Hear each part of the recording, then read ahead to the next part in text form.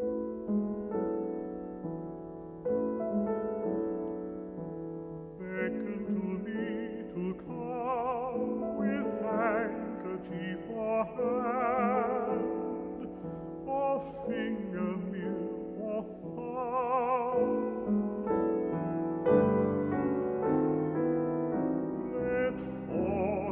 Let forecasts be but rough, parents more bleak than black.